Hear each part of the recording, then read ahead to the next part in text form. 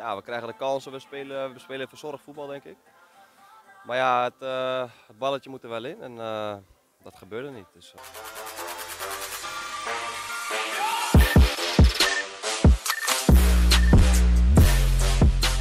Danny Bakker, we staan hier na de wedstrijd tegen TOGB. 2-0 nederlaag. Dat is de tweede nederlaag op een rij. Ja, dat heb je goed gezien. Ja.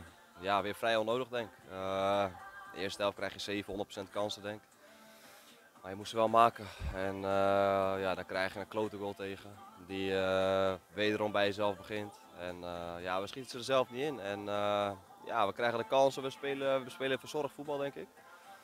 Maar ja, het, het balletje moet er wel in. En dat gebeurde niet. Dus, Je zegt zelf, eerste helft krijg je na een heel aantal opgelegde kansen. Tweede helft eigenlijk bijna niet meer. Nee, ik denk dat hun heel ver inzakten. Hadden wij het denk af en toe lastig mee.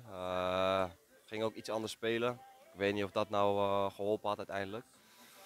Ja, misschien iets te gehaast. te veel op zoek naar die goal. Terwijl we ja, misschien iets meer over de grond hadden kunnen combineren. Maar, zonde. Is die tweede die je dan tegenkrijgt, ja, nou ja, het, het is zo omdat je, omdat je heel erg in de aanval staat? Ja, weet ik niet. Het is gewoon een persoonlijke fout. Dus ja, die had voorkomen kunnen worden. Dus ja, denk het niet. Uh, tweede nederlaag op rij. Gat uh, wordt misschien morgen alweer 7 punten naar ADO 20. Ja, hoe denk je daarover? Ja, het is teleurstellend, maar we geven niet op. we hebben eerder 10 punten achter gestaan en ja, we moeten gewoon naar onszelf kijken. We hoeven niet naar ADO 20 te kijken. Je moet eerst zelf winnen om dichterbij te komen en dat, dat hebben we niet gedaan, dus dat moeten we volgende week weer doen.